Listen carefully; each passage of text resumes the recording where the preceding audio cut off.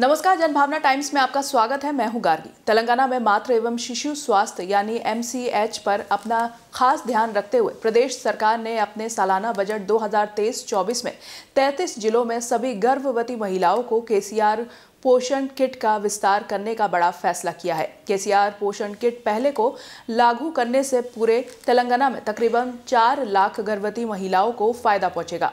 राज्य सरकार ने आगामी वर्ष के लिए 200 करोड़ रुपए आवंटित करने का प्रस्ताव दिया है। केसीआर ने वार्षिक बजट में बस्ती दवाखाना की अवधारणा को तेलंगाना के सभी शहरों में लॉन्च करने का फैसला लेकर इसे और विस्तार देने का भी प्रस्ताव रखा है। इसके लिए सौ और ऐसी शहरी स्वास्थ्य सुविधाएँ स्थापित की जाएँगी। कुल मिलाकर चिकित्सा एवं स्वास्थ्य विभाग को बजट 2023-24 में बारह करोड़ रुपए की राशि प्रस्तावित की गई है।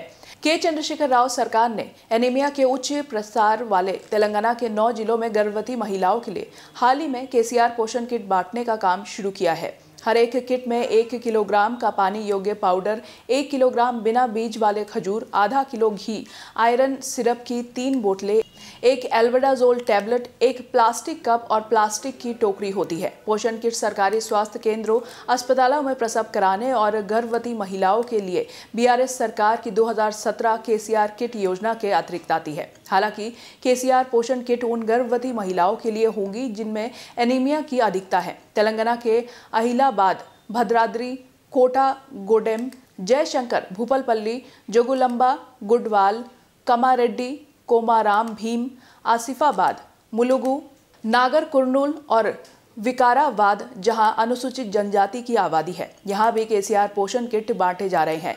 ये किट गर्भवती महिलाओं को दो बार बांटी जाएँगी, एक दूसरी तिमाही में और दूसरे, तीसरी तिमाही में, ताकि गर्भ में माँ और बच्चे के अच्छे स्वास्थ्य को सुनिश्चित किया जा सके। राष्ट्रीय परिवार स्वास्थ्य सर्वेक्षण 2019 से 20 के मुताबिक, तेलंगाना में तिरपन प्रतिशत गर्भवती महिलाएँ एनीमिया से जूझ रही हैं, जो मात्र मृत्यु दर का एक प्रमुख कारण है। अधिकारियों का कहना है कि केसीआर पोषण किट का प्रमुख मकसद राज्य में एनेमिया के मामलों को और कम करना है। बाकी खबरों के लिए आप हमारे वेबसाइट डब्ल्यू को लॉगिन कर सकते देश और दुनिया की बाकी खबरों के लिए देखते रहिए जनभावना टाइम्स। नमस्कार।